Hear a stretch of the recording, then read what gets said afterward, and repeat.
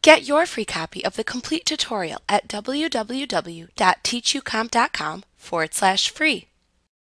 The stroke command allows you to paint a colored border around a selection or layer in Elements. To perform this command, first make a selection to stroke within the image.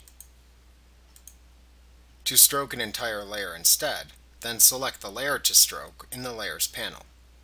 Next, select Edit, Stroke or Outline Selection from the menu bar. In the Stroke dialog box, type a pixel width for the stroke into the Width field. You can click the Color Sample to launch the Color Picker dialog box to select the color of the stroke. In the Location section, select whether you want the stroke to be placed inside, center, or outside the edge of the selection or layer. Use the Mode drop-down to set the color blending mode applied to the stroke.